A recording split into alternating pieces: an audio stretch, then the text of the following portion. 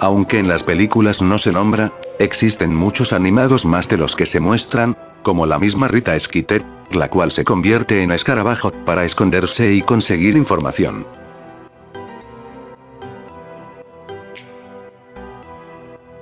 Las escobas usadas durante el rodaje de las películas se fabricaron con titanio. Ya que debían soportar el peso de los actores, y una escoba de madera se rompería en segundos.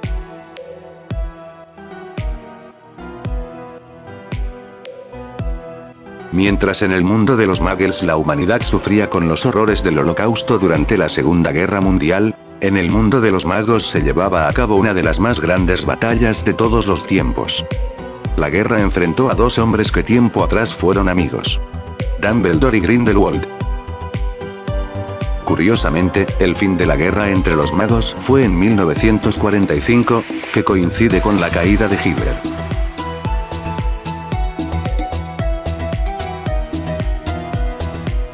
Según J.K. Rowling, existen 11 escuelas de magia en el mundo mágico, además del ya conocido Hogwarts.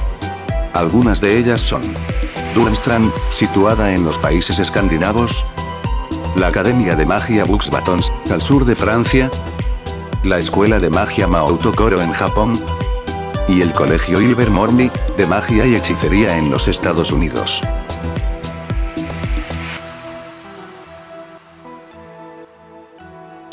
El hechizo que espanta a los dementores, y que refleja el animal que representa el alma del mago que lo conjura, expecto patronum, en latín significa, espero un guardián.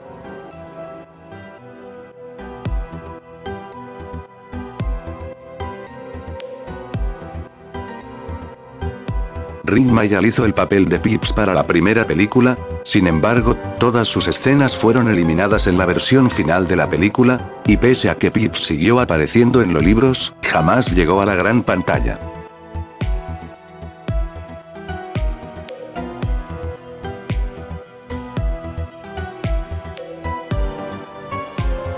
Después de todo lo acontecido en Hogwarts, Luna Lovegood se hizo naturalista, y durante su trabajo conoció a Rolf Scamander, con quien más tarde se casó.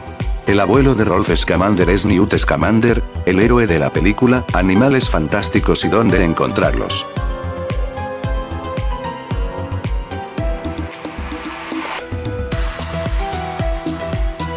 Cuando se grabó la escena del Horrocrux, y el beso entre Harry y Hermione, Rupert Grint tuvo que ser expulsado del set, porque no podía dejar de reírse.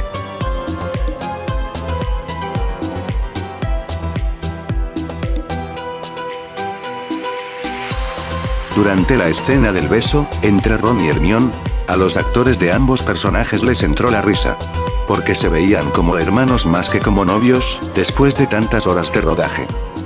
Finalmente, tras repetir la escena multitud de veces, se decidió dejar una toma en la que se reían, ya que dotaba de naturalidad a la escena.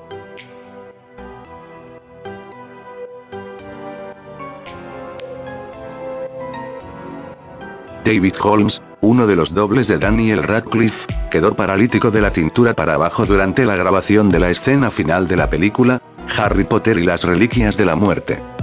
Su columna vertebral sufrió graves heridas, cuando una explosión controlada salió mal lanzándolo hacia el suelo a gran velocidad.